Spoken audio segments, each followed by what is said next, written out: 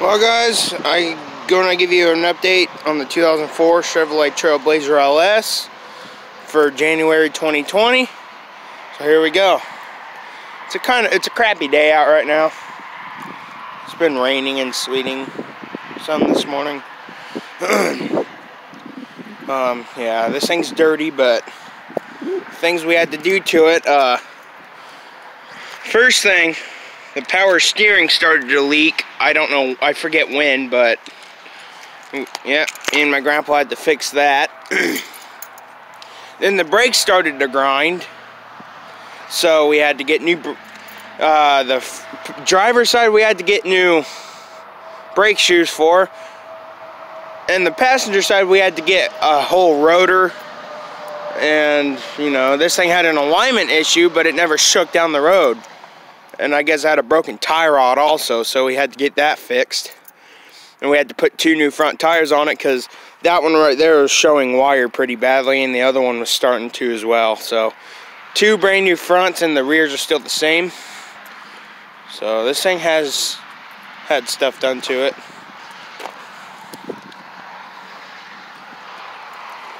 Yeah, it needs washed. We might do that today, I don't know.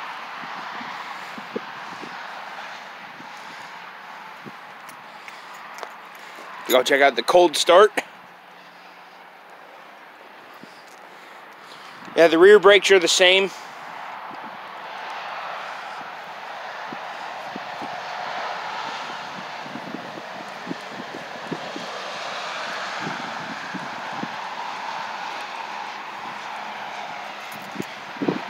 Yeah, that's tar right there. Still got tar on it.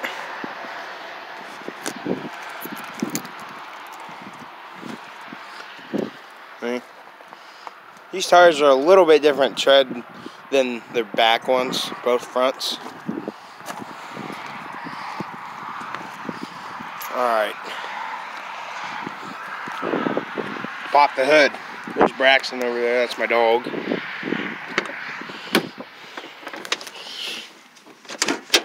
and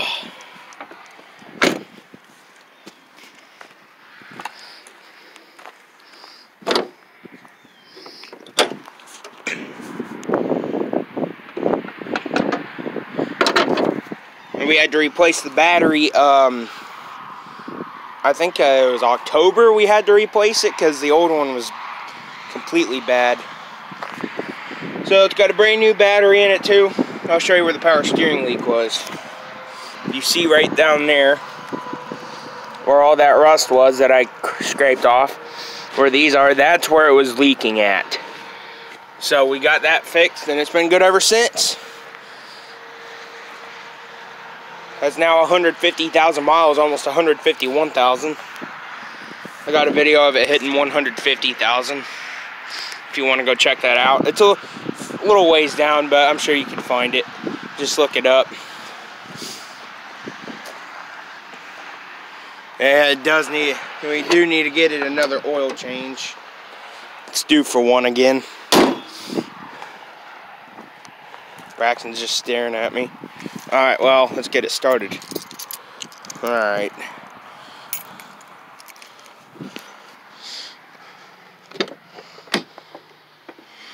About 34 degrees out right now.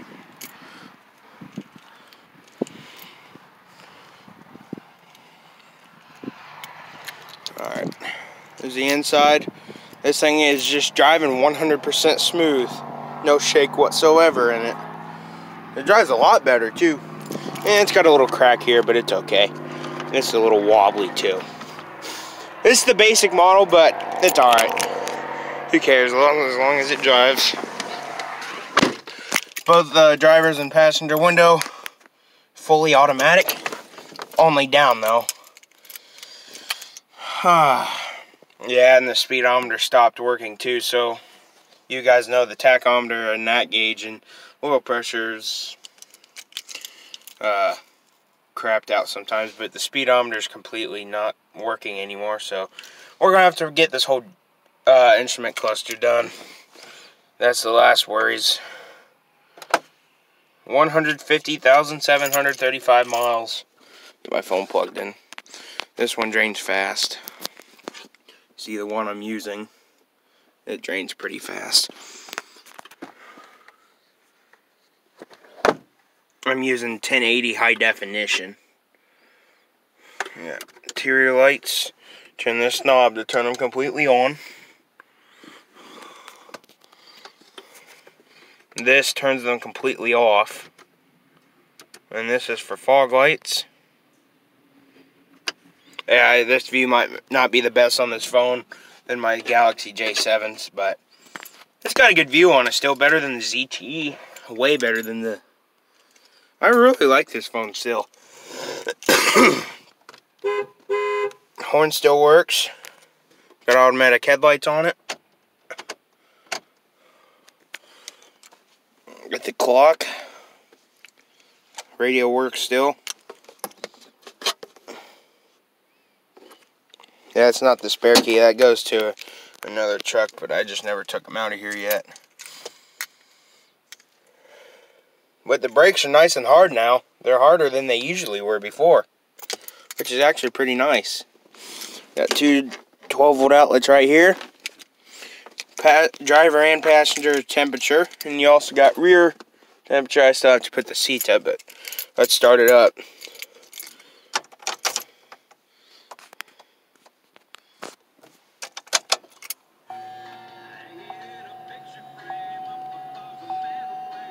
You hear the radio still works pretty good.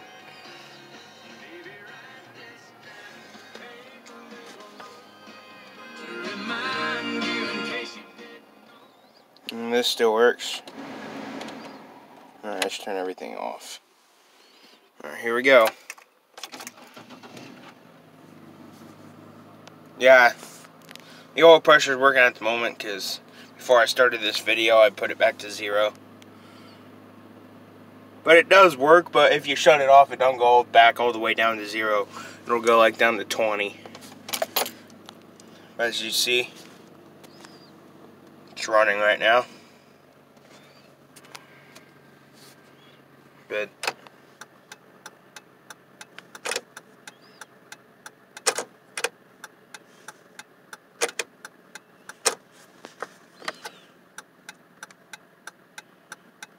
Alright, we're going to keep those on. Turn this on. I'll flip the headlights on. Fog lights too. Let's check the outside out. Yep, first update for the new year on the Trailblazer. I haven't done an update on it in a while. Fully working lights.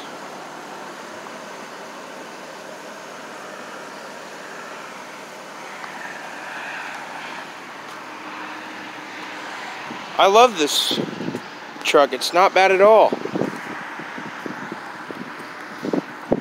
It's not bad for being a what it is. It's pretty good shape too, no rust on it.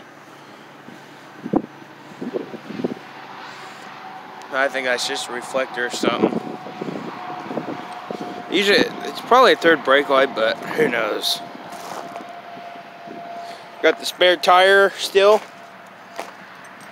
What the heck do you want? Huh? Runs nice. Purrs like a kitten. What do you want?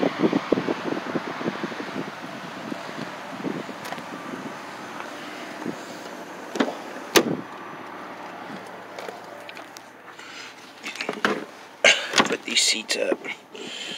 Oh, where that sock came from.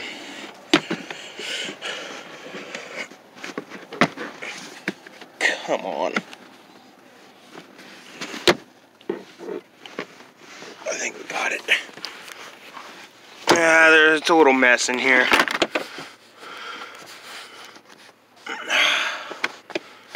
There we go.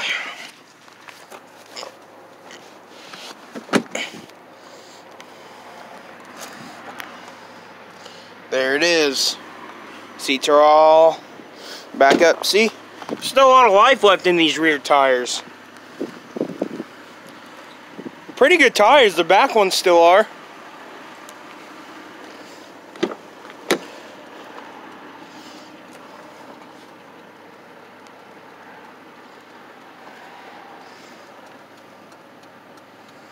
Nice.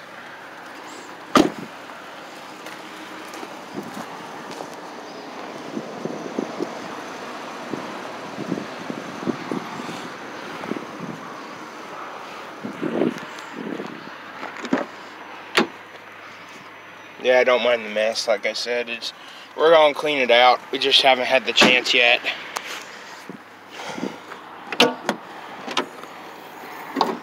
I think these shocks are no good anymore. Look how wore out they look. There's that.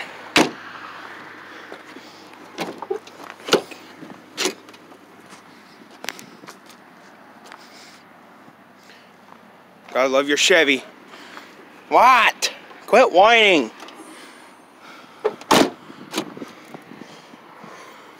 All right.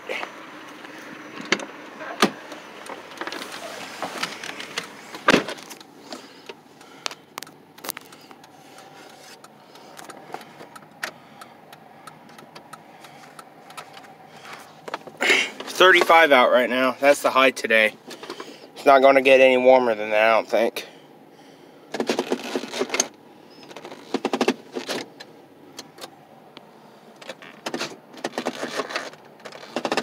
Think it's got the four or five speed automatic transmission. It's Got to be four speed, I think. You can see where it says two on the key fob. That's uh, the spare key. That's the key set number two. And the first key, the remote's dead on the first key. So, yeah. So we do have a spare key for this thing if we ever get locked out of it. Let's give it a little rev.